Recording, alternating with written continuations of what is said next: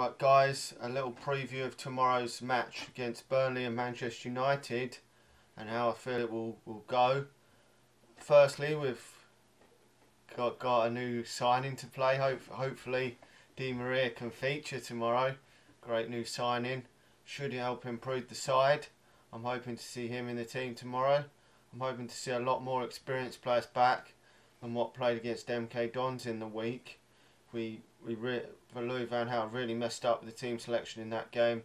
I'm hoping to see see Van Persie, Rooney, Mata, Young, Valencia, all these experienced players back for this game.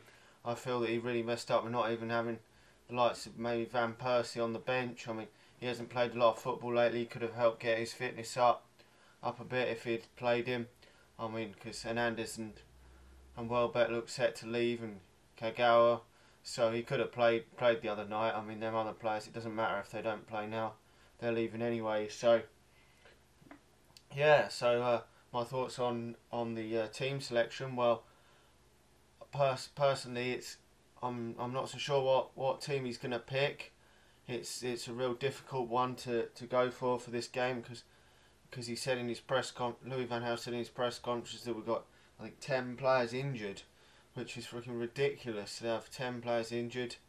I see even Roy Hodgson's concerned about Luke Shaw's fitness, and that which is a which is a real shame because we spent a lot of money on him.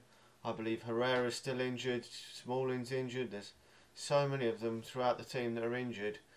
Uh, Ro, Ro, Rojo can't play because of his work permit. There's so many, so many players that can't play. So if we lose this game, it's not really Louis Van Gaal's fault at all, really, because he's probably going to have to play some shit players tomorrow. And I'm hope I'm still hoping for some new signings.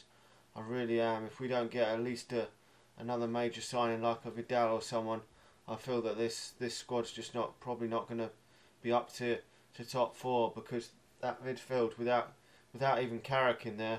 I mean Carrick's a lot better than Cleverley and Fletcher. I'm afraid, even if he's not great, even even if we still had Ryan Giggs, I think Ryan Giggs would have to come out of retirement if we don't sign sign someone like Vidal or even Nigel De Jong because Giggs is better than bloody Cleverley and Fletcher and all them, even at like 40 odd, he's still better than them in the midfield. So, and and that is really saying something.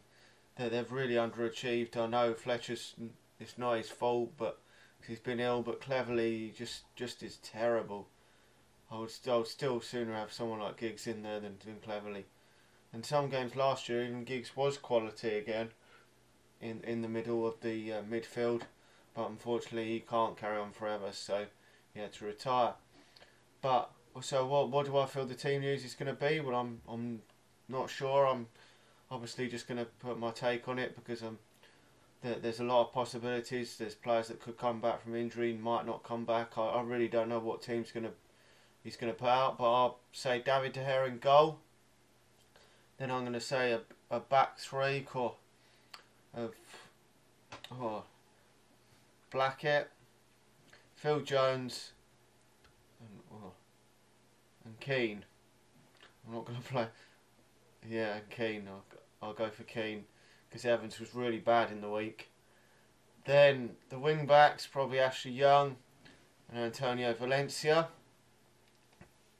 Then I'm going to put Di Maria in midfield alongside Darren Fletcher. The reason why I would put put him in midfield is because that midfield is fucking awful. It's absolutely terrible. I mean, there's no way you can keep playing Fletcher and Cleverley in that midfield. We will get beat by by bloody. We could get beat by the local Sunday pub team if we play, keep playing them in there. But it looks like looks like uh, going anyway. I'm I'm a bit surprised that he's he's vice captain Fletcher because if we do sign some more players, uh, then I'm not so sure he's going to get a, lo- a lot of a lot of game time Fletcher this year. So we haven't got we've only got an, about another thirty something games left because we're probably unless we get far in the FA Cup, which that's not even many games any anyway. So then obviously I'll play the trio up up front of Mata and then uh, Wayne Rooney and Van Persie.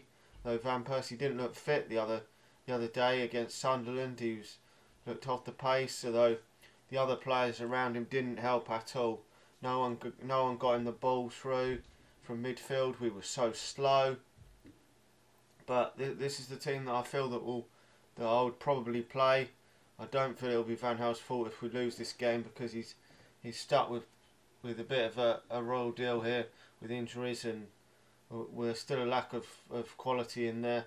Although Di Maria's come in, I just I just feel there's still three or four players needed to at least well at least a couple to challenge two or three to challenge for that top four place. Even I mean if we get them all back fit, maybe we can challenge for that.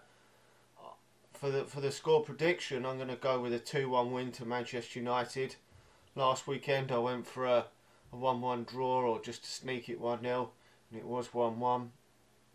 In the week I thought we would beat MK Dons but then when the I saw the team selection, I realised that we probably struggled to beat them. But this game, I don't actually know what the actual team news is going to be.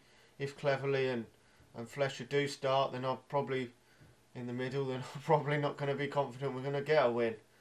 But at the moment, we've really we've got to be looking to beat these. This this game is a, almost turning into a must-win game because it's Burn. We've got Burnley, Leicester, and we've got all the three promoted sides for this way in the next three games. So, um, I mean, we should beat QPR. I mean, and, and Leicester aren't really that great. So, but and starting with Burnley, it's I mean, I know two of them are away, I think, but even so, we still should be looking to beat these teams.